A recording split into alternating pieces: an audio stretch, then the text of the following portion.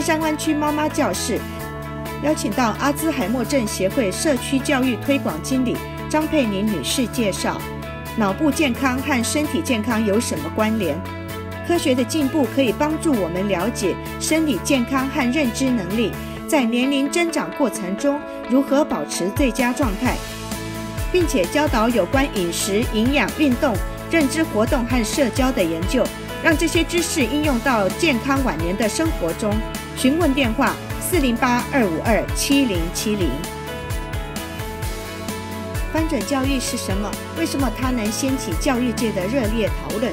作为家长，该要有什么样的准备？青少年心理和亲子沟通也永远是教养学的热门话题。由登高世界基金会、北加州中文学校联合会与美西玉山科技协会共同主办。翻转教养与翻转教育，我的成功我决定的座谈会将在三月三日下午一时在湾区华侨文教中心举行。重量级讲员为台湾大学教授叶秉成、史丹佛大学亚裔中心心理治疗师徐华。入场免费，请先邮件报名：Bay Area Registration at gmail.com。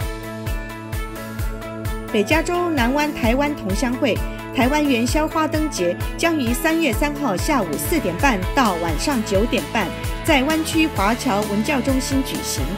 活动丰富精彩，有台湾夜市、创意灯笼竞赛、节目表演、元宵灯节大摸彩和儿童创意游戏区，欢迎乡亲和府光临。蝴蝶兰是送礼或居家布置最受欢迎的花卉，但蝴蝶兰的照顾方法不同于其他的室内植物。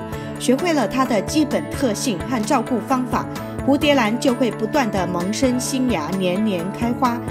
生命河基金会假日生活广场，三月十日下午两点，在生命河林良堂，特别邀请到了知名兰花学者王银东博士来分享蝴蝶兰的照顾和有效的种植蝴蝶兰讲座。喜爱种植兰花的朋友可千万不能错过。三月十一号下午两点到四点，在戏谷生命河林良堂。贝恩传媒为着一种真实的感动，邀请一颗闪亮的明星李天柱来分享他在戏剧界超过四十年的心路历程及生命故事。他的心动时刻与心动演说，精彩的节目，美味的茶点，感人的分享，诚挚邀请您共享这视觉、味觉、心灵的宴享。